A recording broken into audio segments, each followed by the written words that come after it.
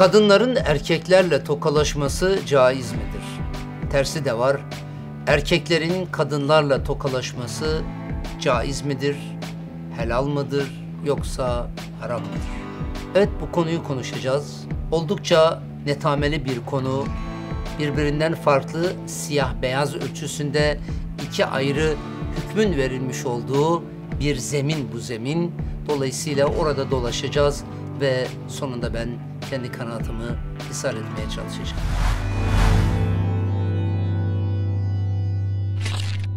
Merhabalar değerli izleyiciler, değerli dostlar. Bugün çoktan beri sırada bekleyen bir konuyu ele alacağım.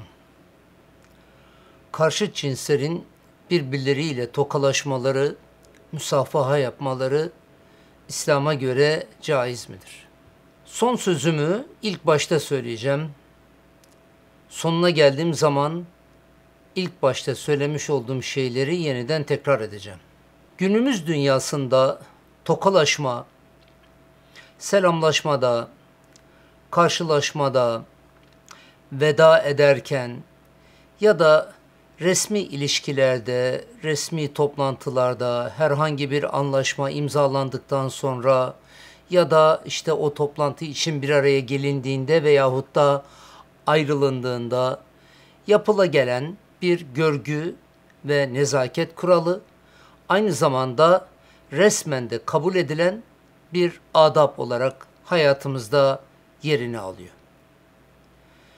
Şimdi burada karşı cinslerin birbirleriyle tokalaşması, kadın erkeğin birbiriyle musafaha yapmasına şu bahsini etmiş olduğumuz çerçeve içerisinde yerini alan tokalaşma için konuşuyorum.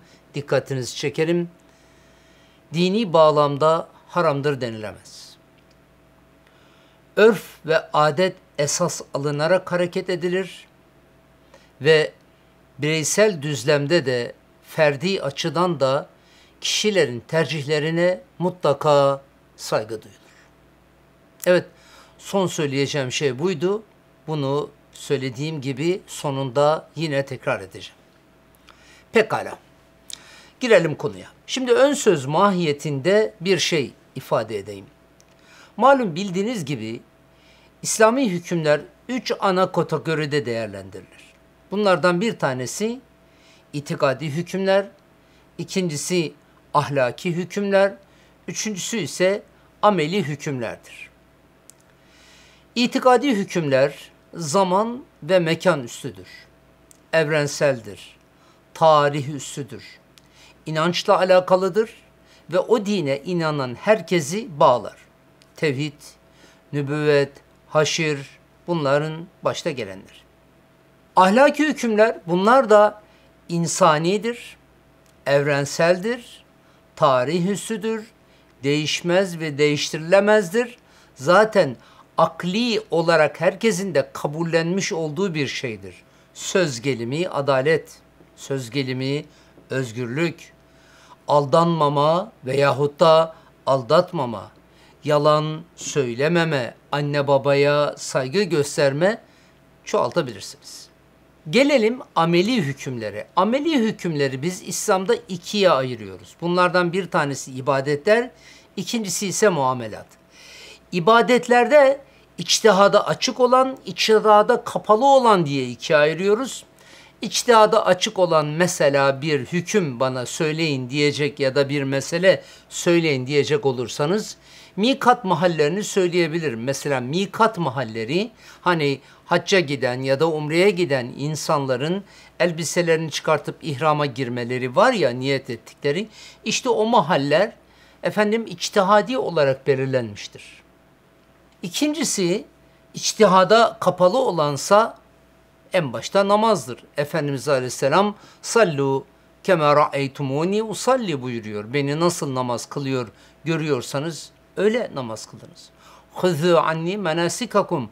Haccın menasikini benden alın diyor. Dolayısıyla haccın menasiki nedir?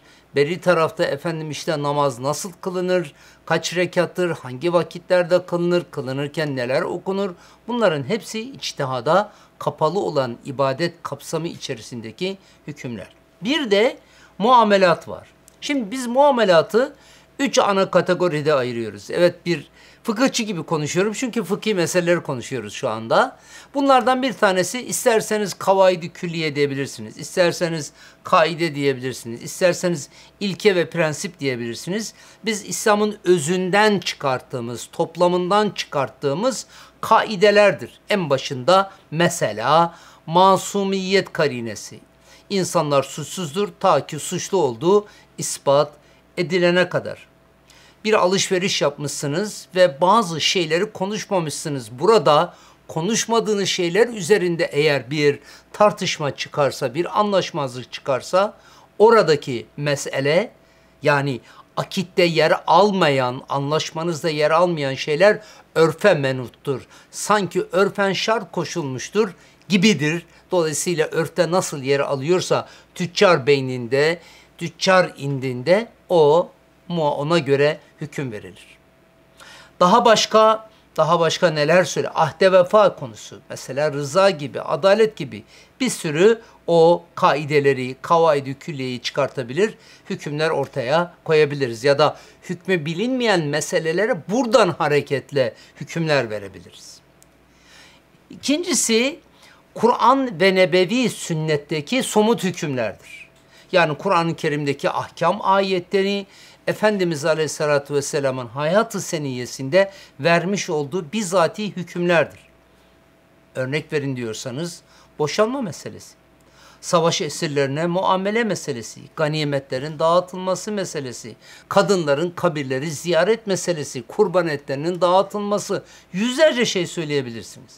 Allah Resulü Aleyhisselam'ın hayatında somut olarak karşılığı bulunan ve Efendimizin beyan buyurduğu, kabul ettiği, reddettiği, inşa ettiği, emrettiği, yasakladığı her şeyi bu çerçeve içerisinde değerlendirebiliriz. Gelelim üçüncüsüne fıkıh ve gelenekteki hükümler. Pekala işte bu yani kadınlarla tokalaşma meselesi tam da bu noktaya giriyor. Yani ameli hükümlerin üçüncü kısmına giriyor. Burada ne olacak? Burada ya o kavaidi külliyeden hareketle siz iştihat yapıp bir hüküm vereceksiniz ya da ya da kendi usulünüze, metodolojisine bağlı olarak hüküm vereceksiniz. Yine İslam'ın özünden çıkartmış olduğunuz o genel ilkelere bağlı olaraktan ya da o kaidelere bağlı olaraktan, metodolojiye bağlı olaraktan. Pekala Kur'an ve sünnet demiştiniz diyebilirsiniz. Kur'an ve sünnette bu konuda ne emredici ne de yasaklayıcı hiçbir beyan yok. Ondan dolayı bu fıkıh kapsamı içerisinde, gelenek kapsamı içerisinde değerlendirilir. Ya kavaidi külliyeye ya da usule, usulü fıkha bağlı olarak hüküm verilir. Şimdi biz aslında normalde olan bu ve olması gereken de bu ama fakat tarihi süreç içerisinde biz bunları birbirine karıştırmışız. Yani ameli hükümlere de, ahlaki hükümlere de, içtihada açık olanlara da, içtihada kapalı olanlara da hepsine inanç kapsamı içerisinde değerlendirmişiz ve inanç kapsamı içerisinde değerlendirdiğimizden dolayı da değişmez, değiştirilemez hükümler gibi görüyoruz.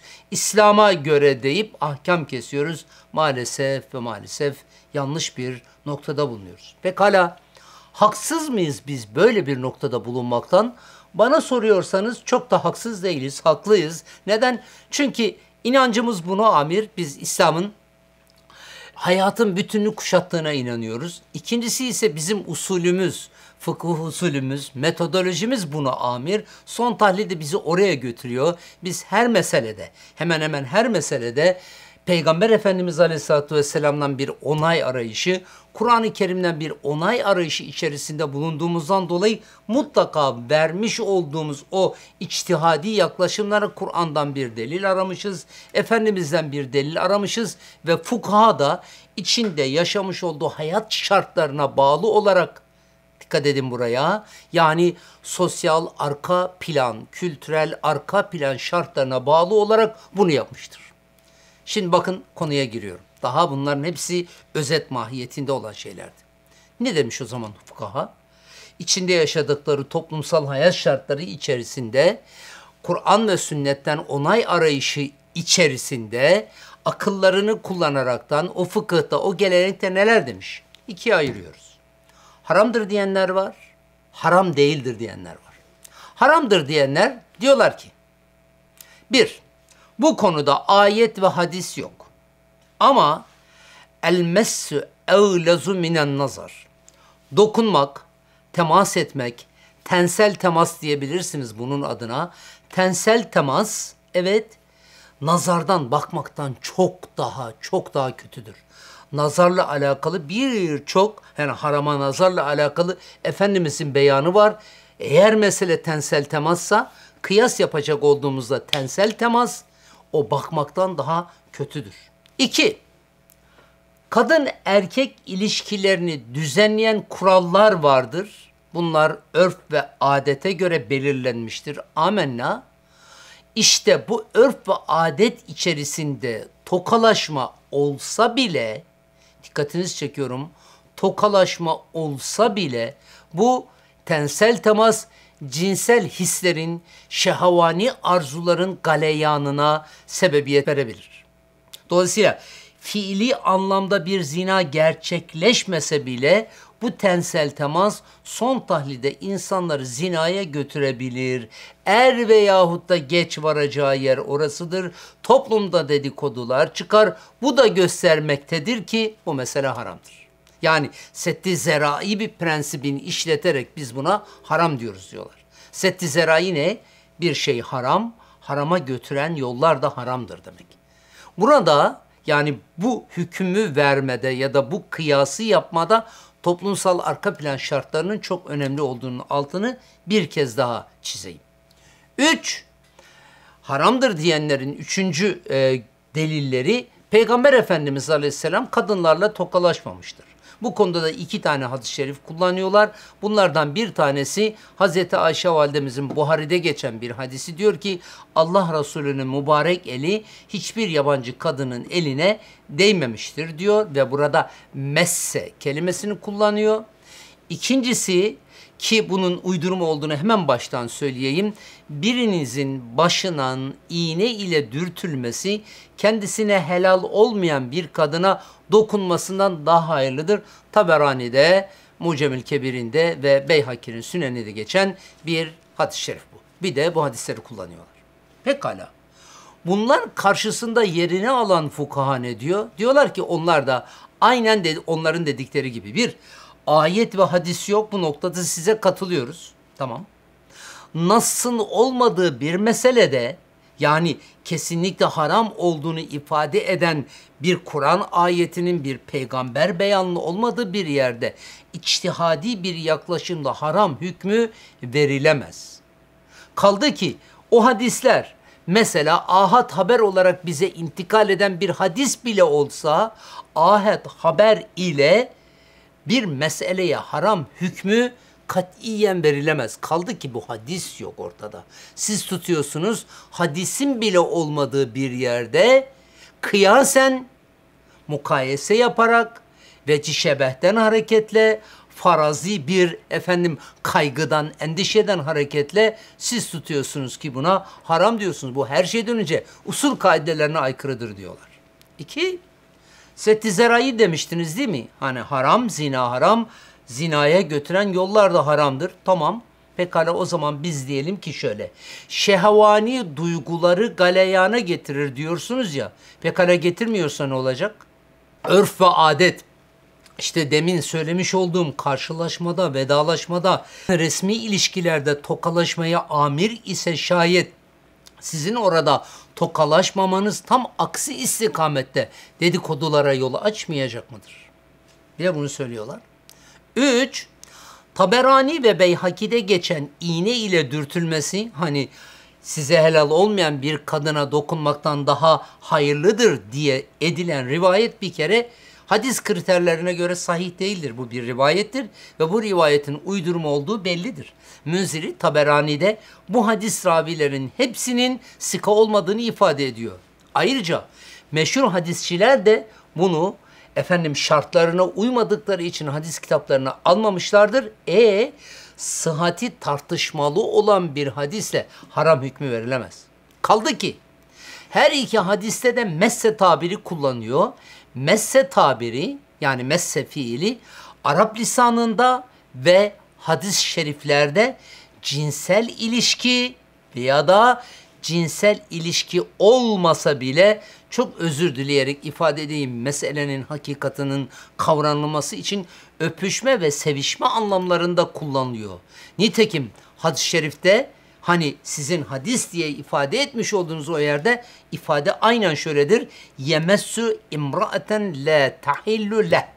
Kendisine helal olmayan bir kadınla temas etmesi. Buradaki temastan kasıt böyle tokalaşma değildir. Tensel temas değildir. Cinsel temastır. Yani ailevi münasebettir diyorlar. Bir başka zaviyeden diyor ki bu insanlar haram değildir diyenler Hazreti Peygamber'in sallallahu aleyhi ve sellem tokallaşmaması bunun haram olduğunun delili olarak kabul edilemez. Neden? Çünkü Efendimiz Aleyhisselatü Vesselam'ın yapmamış olduğu şeyler haram olarak ifade edilmemiştir ki. Yani Allah Resulü'nün yapmadığı, her yapmadığı şeye haram diyemezsiniz. Mesela keler çekirge yeniyormuş değil mi? Efendimizin sofrasına da getirilmiş ama yememiş. Şimdi Efendimizin keler yememesi ama yiyenlere de bir şey dememiş. Dolayısıyla keler yememesi haram olduğuna delalet etmez ki. Kaldı ki Allah Resulü buyurun siz yiyin demiş. Dolayısıyla tokalaşmaması da bir şeyi ilga değil. Belki o toplumun kültürüne uygun olmadığı için ya da o toplumun kültüründe var olmadığı içindir. Ve son olarak da şunu söylüyorlar. Diyorlar ki Efendimiz Aleyhisselatü Vesselam Enes bin Malik'in halası olan Ümmü Haram'ın evinde uyumuş ve Ümmü Haram'ın kucağında uyumuştur. Hatta Ümmü Haram tutmuş Allah Resulü sallallahu aleyhi ve sellemin saçlarını başlarını taramıştır. Bak buna ne diyeceksiniz diyorlar. Netice itibariyle burada haramdır ya da haram değildir diyenlerin görüşlerini karşılıklı olarak ben sizlere arz etmiş oldum. Pekala gelelim günümüze. Bu fıkıhta yer alan, bizim fıkıh literatürümüzde yer alan haramdır diyenlerle haram değildir diyenlerin görüşlerini karşılıklı olarak sunduktan sonra gelelim ben ne diyorum ya da bu konudaki yaklaşımım nedir diye şimdi onu sizlerle paylaşacağım. Değerli dostlar, bir, tokalaşma özellikle Batı ülkelerinde bugün itibariyle bir görgü ve bir nezaket kuralı olarak kabul ediliyor. Özellikle karşılaşmalarda, vedalaşmalarda, selamlaşmalarda, bir araya gelip oturma ve kalkmalarda görgü ve nezaket kuralı. Ama her yerde böyle değil. Japonya'da böyle değil biliyorsunuz. Efendim Kore'de böyle değil. Hindistan'da böyle değil. Belki böyle olmayan başka dünya ülkeleri de vardır. Bu kültürlere göre değişiyor ama Batı kültüründe bugün itibariyle böyle bir yaklaşım var ve bunu adabı muaşere kapsamı içerisinde değerlendiriyorlar. Dolayısıyla bunu bir sosyal realite olarak görmek zorundayız. Bunu bir kenara koyalım. Aksi takdirde sizin bunun sosyal realite olduğu, bir görgü kuralı olduğu yerlerde, herkesin tokalaşmış olduğu yerde sizin tokallaşmamanız, karşıt cinsellerin birbirleriyle tokalaşmaması bir nezaketsizlik olarak kabul edilebiliyor. Ediliyor demiyorum, edilebiliyor diyorum, anlatacağım. Nedir o? Edilebiliyor dememin gerekçesi nedir? Çünkü bunun da kuralı var. Yani tamam bir nezaket kuralı ama fakat o kuralın da bir alt kuralı var ki işte veyahut da bir başka efendim detayı var ki bu tokalaşmalar esasında ilk defa kadın elini uzatırsa erkek uzatıyor ama kadın elini uzatmazsa erkek de uzatmıyor. Bu da o tokalaşmaya ait bir ekstra ya da onun altı sayılabilecek bir başka ya da detayı sayılabilecek olan bir başka kuraldır. Üç, haramdır diyenlerin delilleri açısından baktığımızda onların da kabullenmiş olduğu gibi ayet ve hadis-i şerif yok. Efendimiz Aleyhisselatü Vesselam'ın tokalaşmaması ise devrin kültürü içerisinde böyle bir şeyin olmadığından dolayıdır. Devrin kültürü içerisinde var ola gelen şey biat anlamındaki bir tokalaşmadır ya da biat esasındaki bir tokalaşmadır ve kadınlarla Efendimiz Aleyhisselatü Vesselam'ın yapmış olduğu o biatlarda da Allah Resulü sallallahu aleyhi ve sellem bunu tercih etmemiştir. Mesela Buhari şurut birde geçen hadis-i şerif diyor ki vallahi Resulullah'ın eli biatlaşma esnasında hiçbir kadının eline değmedi. O ancak söz ile biat almıştır. Bu Efendimiz Aleyhisselatü Vesselam'ın tercihidir. Ama hangi düzlemde? Biat almada. Ben kadınlarla musafaha etmem müstehde geçen bir hadis-i şerif. Bir kadına olan sözüm yüz kadına söylenmiş gibidir. Bu da bir atta. Pekala erkeklerle olan, erkeklerle bir aşmada tokalaşması var. Musafahalaşması var.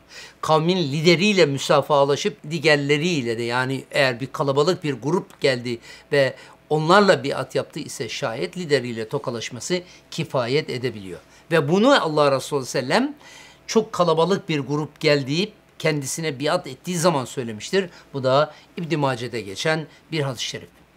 Mesela İzzet Derbese tefsirül hadisinde şöyle bir kayıtta bulunuyor. Diyor ki herhalde erkeklerin kadınlar ile tokalaşmasının mekruh veyahut da haram olduğu söyleyenlerin dayanakları bu hadislerdir.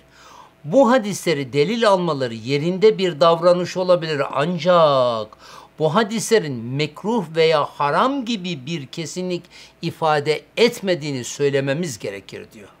Bu da İzzet Derbeze'nin bir görüşü. Pekala dördüncü noktada ben kendi kanaatlarımı ishar ediyorum şu anda ki İzzet Derbeze'ye katıldığım için bu e, noktada onun görüşünü bu kapsam içerisinde ele aldım. Gelelim dördüncüye. Dokunmak bakmaktan daha ağırlıdır. Bu çok önemli bir tespit ve doğru bir tespit. Gerçekten de nazardan çok daha öte bir yere sürükleyebilir insanları o tensel temas. Ama bunu böyle genelleştirmek hem kadın için hem de erkek için çok ağır bir ithamdır. Tekrar ifade edeyim. Doğru bir tespit bazı insanları o noktaya sürükleyebilir tensel temas bakmanın ötesine insanları götürebilir. Bunu genel bir yaklaşım olarak ele almak ve buradan hareketle hüküm vermek bence hem çok ağırdır hem de kadın ve erkek için kadınlar ve erkekler adına çok ağır bir ithamdır diye düşünüyorum. Gelelim bir başka noktaya. Setti zerai. Aynı şey setti zerai ile verili olan hükmü için de geçerlidir. Bir kere bu kural doğru bir kuraldır. Buna katılıyorum. Ama her tokalaşma insanı zinaya götürür diye bir genelleştirme yapma veyahut da bir sonuca ulaşma bu da çok ağır bir karar. Bu da çok ağır bir ithamdır. O zaman siz Müslümanlar olarak Müslüman kadınlar veyahut da erkekler hani karşı cinsle tokalaşmamayı tercih eden insanlar için söyleniyor ya yani siz her bakmış olduğunuz kadına, her bakmış olduğunuz erkeğe şehvet nazarıyla mı bakıyorsunuz diyorlar ya. O zaman doğru bir tespit olmaz mı bu? Eğer bunu genelleştirecek olursak. Nitekim bunu diyen setti zerai prensibine göre haramdır diyen fukahayı bile tatmin etmemiş olacak ki diyorlar ki onlar eğer kadınlar yaşlı ise tokalaşmak caizdir. Orta yaşlı ise tenzihen mekruhtur. Ama genç ise işte o zaman haramdır. Eğer mantık bu ise o zaman şunu söyleyebiliriz. Eğer tokalaşma insanları zinaya götürmeyecekse ve zinaya götürmeyeceği kesinse, insanlar bu noktada kendilerinden eminse o zaman tokalaşmak mübahtır denilmesi lazım. Bu mantık onu gerektirir. Netice itibariyle burada bağlıyorum. Tokalaşma günümüz dünyasında kültürel bir olgudur ve içinde yaşanılan toplumun örf ve adeti, gelenek ve göreneğine göre değişebilir. Zamanla da değişebilir, mekanla da değişebilir. Nitekim değiştiğini söyledim. Ve bunun zamana, mekana hatta insana göre değişmesi gayet doğaldır. Dolayısıyla ister karşılamada olsun, ister vedada olsun, isterseniz güven ilişkilerinde olsun, isterseniz dostluk münasebetleriyle olsun, isterseniz resmi ilişkilerde olsun. Eğer bunlar örf ve adet içerisinde var ise şayet ben caiz olduğunu düşünüyorum. Buna dini bağlamda ta başta söylediğim şeyi tekrar söylüyorum. Buna dini bağlamda haramdır denilemez. Ama bireysel düzlemde insanların tercihlerine de saygı gösterilmek zorundadır. Şu ya da bu gerekçeyle ister haram değildir ama istemiyorum diyorsa ya da haramdır diye inanıyorsa, kabulleniyor ise şayet saygım sonsuz orada o bireysel tercihe muhatabın saygı göstermesi gerekir. Eğer kadın elini uzatmıyorsa ya da erkek elini uzatmıyorsa karşı cinse bu noktada o bireysel tercihlere saygı gösterilmesinin şart olduğunu düşünürüm. Birlikte yaşama, huzur içerisinde bir ve beraber olma herkesi kendi konumunda kabullenmekle mümkün olabilir şehevi duyguları harekete geçiriyor ise diyeceksiniz belki. Şehevi duyguları harekete geçiriyor ise dedim ya genelleştirilme yapılamaz ama buna rağmen gerçekten de böyle bir şey var ise şayet tabii ki burada caiz değildir diyebilirsiniz. Ama her tokalaşma insanları bu noktaya götürür. Her tokalaşma efendim insanları zinaya sürükleyebilir gibi bir genel yargıya varmanın da yanlış olduğunu kabullenmeniz lazım, kabullenmemiz lazım. Evet benim bu gerçekten çetrefilli, hani netameli derler ya, netameli bir konuda e, söyleyebileceğim şeyler bunlardan ibaret. Umarım çok açık seçik ve net olmuştur. Ben net olmaya çalıştım. Tarihi süreç içerisinde hem hükümlerin kısımlarını anlattım, hem haramdır diyenlerin hem helaldir diyenlerin delillerini anlattım. Sonra da meseleyi günümüze getirip günümüz dünyası içerisinde bu meselenin oturmuş olduğu zeminden hareketle bir şeyler söylemeye çalıştım. Beni sabırla dinlediğiniz için hepinize çok teşekkür ediyorum. Sağ olasınız, var olasınız. Katkılarınız, yorumlarınız, eleştirileriniz için hepinize şimdiden çok teşekkür ediyorum.